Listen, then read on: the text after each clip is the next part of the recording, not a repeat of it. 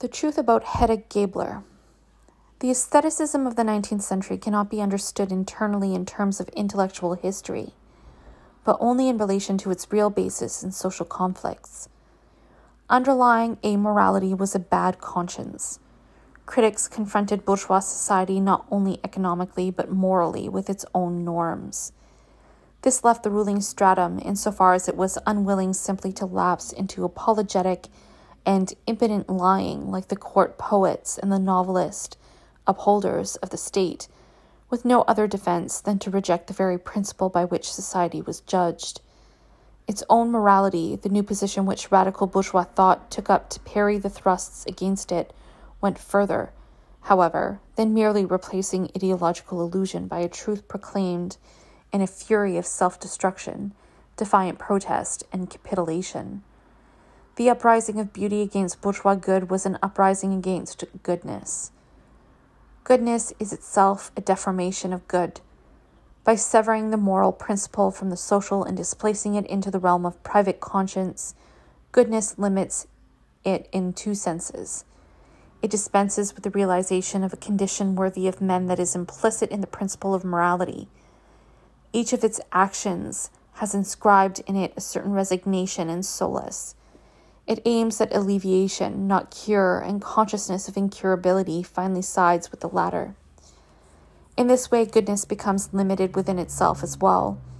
Its guilt is intimacy. It creates a mirage of direct relations between people and ignores the distance that is the individual's only protection against the infringements of the universal. It is precisely in the closest contact that he feels the unabolished difference most painfully. Retention of strangeness is the only antidote to estrangement. The ephemeral image of harmony in which goodness basks only emphasizes more cruelly the pain of, of irreconcilability that it foolishly denies. The offense against taste and consideration from which no act of goodness is exempt completes the leveling that the impotent utopia of beauty opposes. In this way, the creative evil has been, since the beginnings of highly industrialized society, not only a precursor of barbarism, but a mask of good. The worth of the latter was transferred to the evil that drew to itself all the hatred and resentment of an order which drummed good into its adherents so that it would or so that it could with impunity be evil. When Hedda Gabler mortally offends the utterly well meaning Aunt Jewel, when she deliberately pretends the abom- abominable hat which the which the aunt has got herself in honor of the general's daughter belongs to the maid, she frustrated the frustrated woman not only sadistically vents her hatred of her obnoxious marriage on a defenseless victim.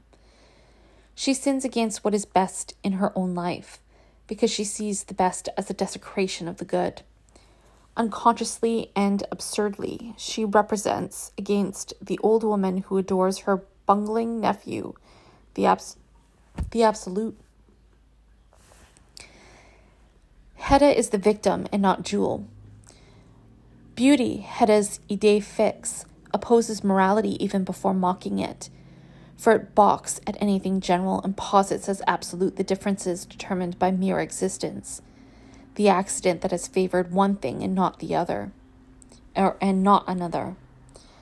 In beauty, opaque particularity asserts itself as the norm, as alone general, normal generality having become too transparent. So challenges the latter, the equality of everything unfree, but in so doing it becomes guilty itself by cutting off, with the general, all possibility of transcending that mere existence, whose opa- whose opacity only reflects the untruth of bad generality. So beauty finds itself in the wrong against right, while yet being right against it. In beauty, the frail future offers its sacrifice to the Moloch of the present. Because in the latter's realm there can be no good, it makes itself bad, in order in its defeat to convict the judge. Beauty's protestation against good is the bourgeois, secularized form of the delusion of the tragic hero. In the immanence of society, consciousness of its negative essence is blocked, and only abstract negation acts as a substitute for truth.